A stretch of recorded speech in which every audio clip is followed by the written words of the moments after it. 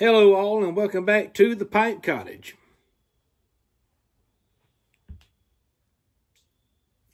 I want to make a video about uh, why I don't trust the uh, American medical profession. I don't trust it. I don't believe it. The American medical profession wants us to believe that smoking tobacco is at any level bad for your health. I don't believe that. I think that uh, smoking industrialized factory made cigarettes and inhaling that into your lungs is a bad idea.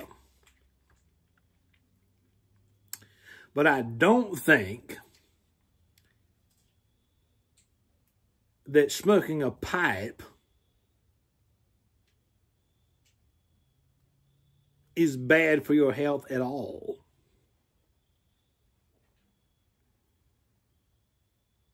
Let's think about what's bad for your health.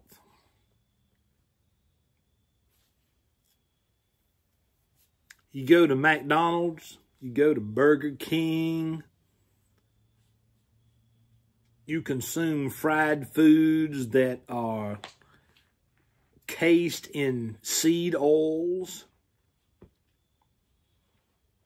That's not good for you. But I don't believe in telling you that you should not eat those things. If you want to eat it, go ahead.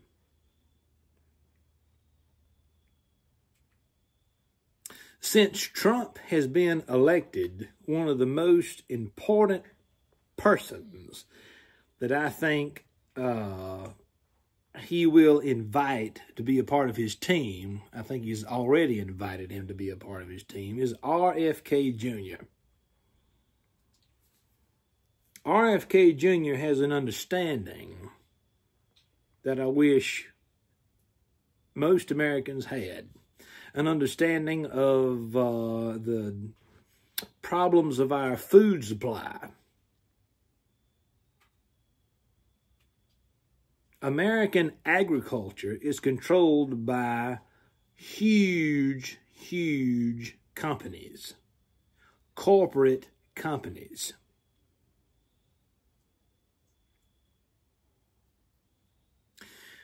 75 to 90% of the food that is sold in American grocery stores is filled with crap that we were never designed to put into our bodies.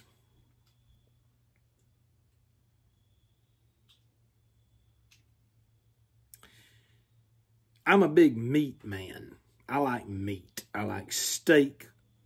I like all kinds of meat. You know what you get when you put a steak on the grill, you season it right, and you eat that steak? You're eating as you were designed to eat. You're eating something that will fill you up, that will um, be of nutritional value. So I am really, really in favor of um, reducing big pharma, reducing the influence of um, big ag my wife and I had a conversation today about health insurance. We're both self-employed. We don't have, we, we, we, we don't think it's important to pay for a health insurance policy. I don't think the people who own the health insurance um, companies are interested at all in your health. they are interested in finding out how they can make money off of your body.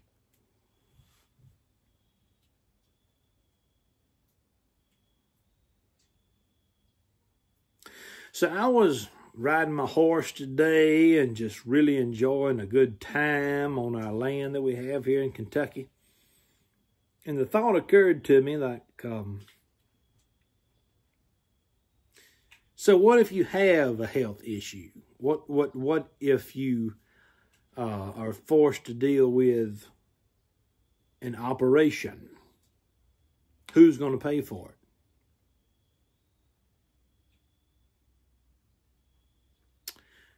most of the operations, the surgeries, the health problems that we deal with in this country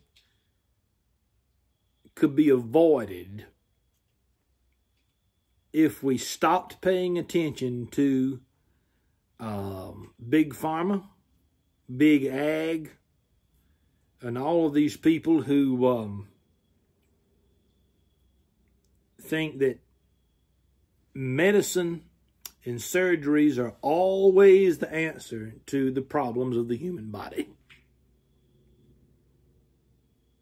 Folks, I'm not going to live forever, and neither are you.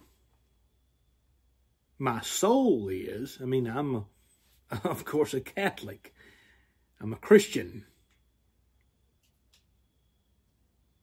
My soul I, I have a, as an old pastor used to tell me years ago, I have a eternal soul living in a temporary body.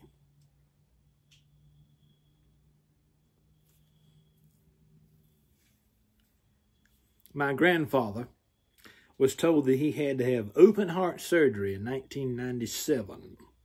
And he went through the surgery. They told him, said, you might not live another 10 years. Well, he lived another 20 years after that. It wasn't because a doctor was uh, extremely important and, and, and created a miracle. It's because God had decided the date that my grandfather was going to pass away. It's already decided. I think we spend too much time thinking about issues that don't matter. I get question after question after question on this channel about pipe smoking. Is it bad for my health? Am I going to reduce my lifespan by smoking pipe tobacco? Folks, we have far more to be concerned about than smoking pipe tobacco. Smoking pipe tobacco is not what, that, that's not what's killing Americans. Now, I know there are other people who watch this channel, they're not in this country, but I want to talk to Americans for a few minutes.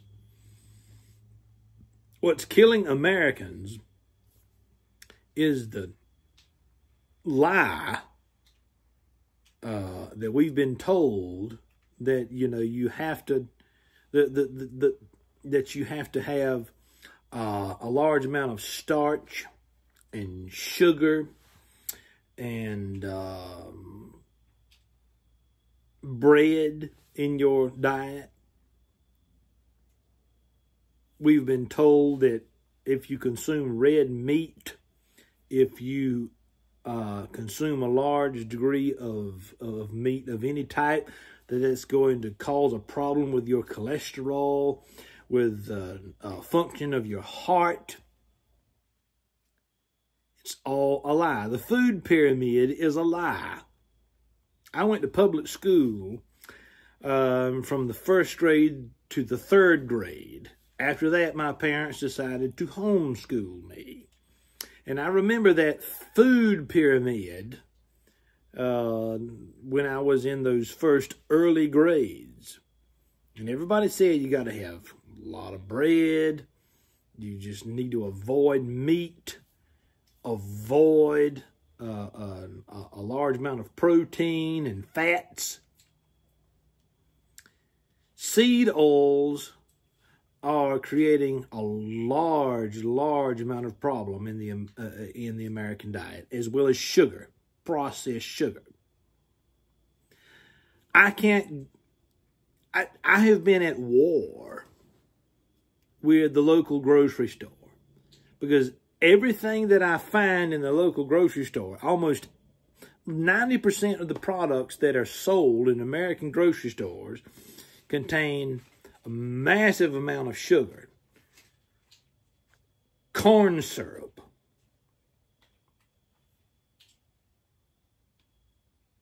vegetable oils. That's where the problem is coming from. It's if we were to um, talk about the health risks and what's really killing people in the United States, pipe tobacco should not be at all a part of that conversation. Cigars should not be at all a part of that conversation. Not at all. What's killing people is processed foods. Stress. Where's the stress coming from? Well, it's coming from people who are trying to make ends meet. It is coming from a situation in this country where um, the government is placing a, a, a, a stronghold, is placing a block, it's blocking uh, the amount of, of freedom that we're supposed to have. People are working nine to five jobs and not able to make ends meet. Folks who are business owners are being taxed beyond measure by the federal government, making it almost impossible to create a successful small business. We're being told by the medical profession uh, that there's no way to be healthy in the United States. I mean, I don't believe it. I don't believe the medical doctors anymore. I don't believe them. We have doctors who are telling us, well, don't eat red meat. That's bad for your heart. Uh, just you, you, They're still following the pyramid that was created by the government, by the USDA 50 and 60 years ago. I think it's been proven by now that if you have a diet that is largely meat-based, and that is wholesome in its vegetable consumption, then you are doing far, far better than what the uh, federal government wants people to believe. I get asked the question all the time, is pipe tobacco bad for your health? no, I would actually argue that pipe smoking is beneficial to your health. It is beneficial.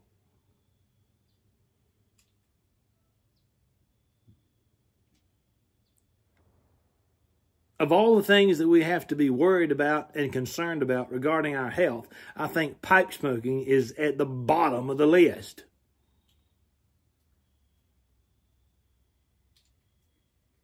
I can show you more than one piece of scientific evidence, more than one piece of scientific uh, uh, study that has proven that pipe smokers actually outlive those people who do not smoke tobacco at all. It's not even a question. It should not be a question. If you want to smoke a pipe, then smoke a pipe. That's not the same category as people who want to smoke cigarettes. It's not the same category at all.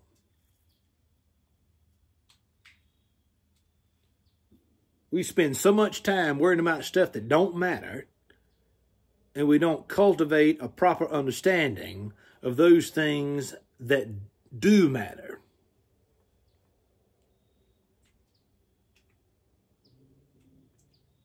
Doctors, medical doctors, the big pharma, the big ag, all of these people have too much power, too much influence, and they're destroying the joy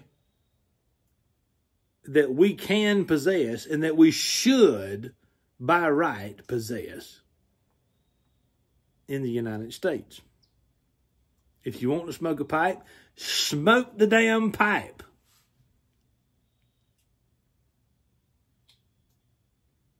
I'm not at all persuaded by medical science that smoking a pipe is going to reduce your lifespan at all. I am, however, convinced that stress will reduce your lifespan. That constantly, daily consuming industrialized agricultural products will reduce your lifespan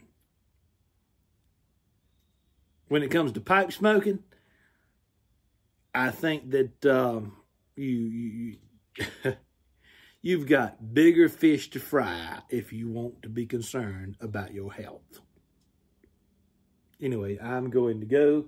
Got a lot going on. I've got animals I've got to go take care of before the sun goes down. But this is Alan Harrelson with the Pipe Cottage. Thank you for stopping by.